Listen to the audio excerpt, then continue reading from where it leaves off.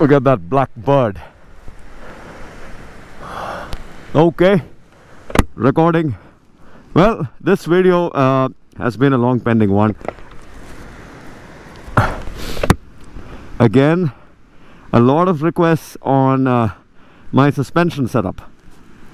Uh, yes, you guys know that I run. Well, if you don't know, if you're new to the channel, then this is a custom built Royal Enfield Himalayan 411, the OG.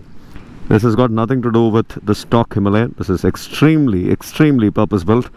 Very, very capable of taking on uh, uh, just about anything and everything you can throw at it really really capable machine i'm going to be swapping out the tires to uh, the uh, motocross ones back again is because uh, i am more comfortable with the motocross tires off-road than with these fellas. These fellas are great don't get me wrong.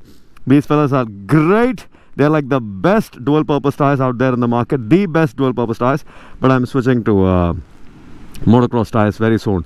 Now coming to the point uh, what I run is custom suspension. And what custom suspension does is in simple layman terms makes this bike feel like the new Himalayan 450 uh, that is what uh, I can say at uh, the least. What I run to start with is the dampening rods. The dampening rods the uh, rebound hole uh, welded and uh, finished.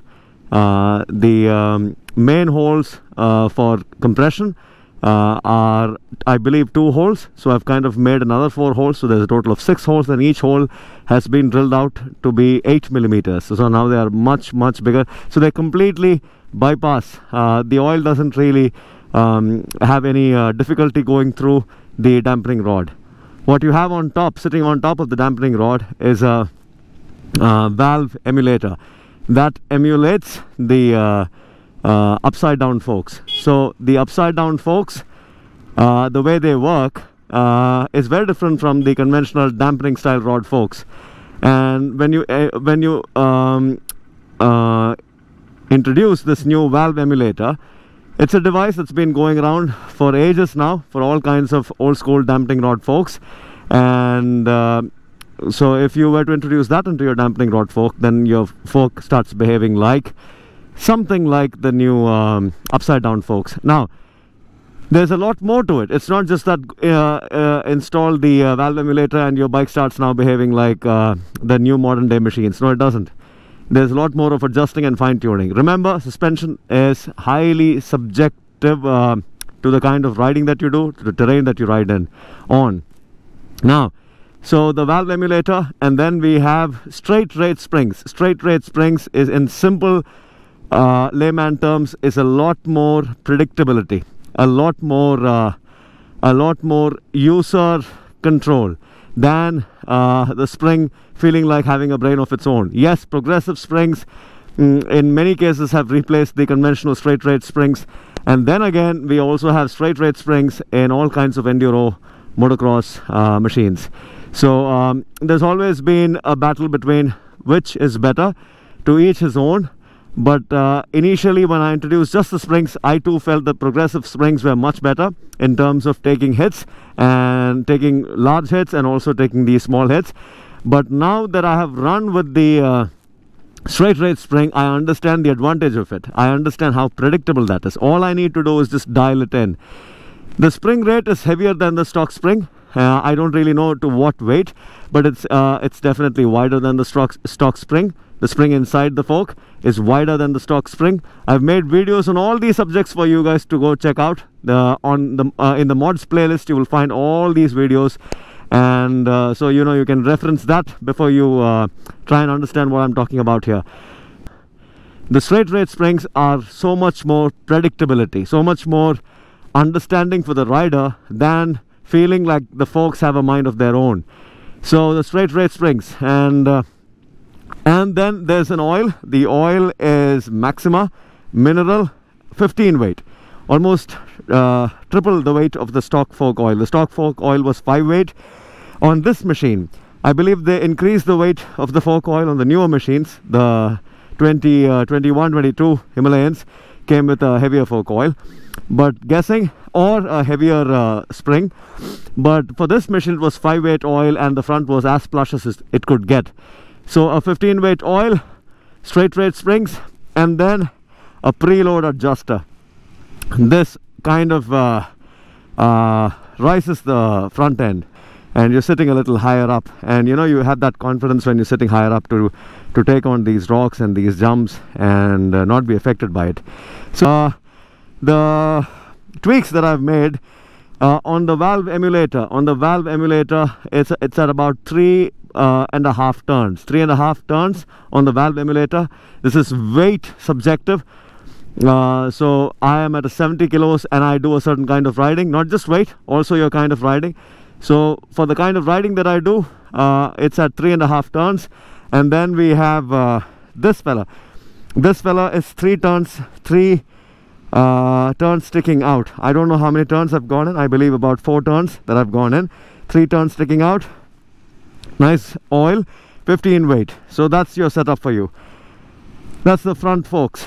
the rear shock is a custom unit again built specifically for the Himalayan for the 195 196 kilos that the Himalayan is. And this shock is from YSS a complete custom uh, kit. And is also slightly heavy on the spring. I believe it's again weighted for uh, a slightly heavier rider.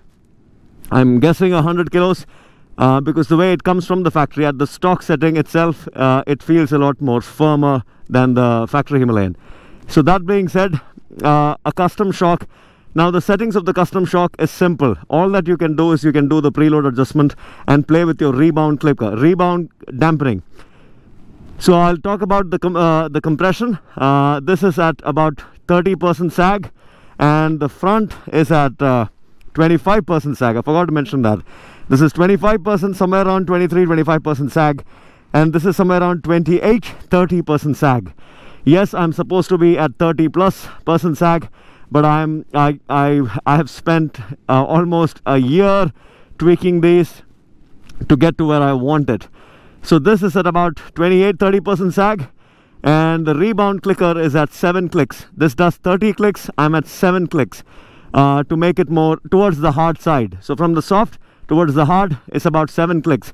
I can go until 9 clicks. So uh, that's where I call it uh, quits. I don't I don't go hard more, more than that. The sag is at 30% and that's all you can do to this. This particular uh, unit, shock unit, is a lot, lot more stronger than the factory shock unit. That much I can say. Uh, because you know the way it sits the way you the, the way it comes from the factory the moment you sit on the bike you understand that now you're sitting on a bike which is a lot more uh, lot more serious about the rear end and how this helps is this just the setup just tightens up the motorcycle the motorcycle feels like one unit the himalayan has a habit of feeling uh, front and rear as separate units.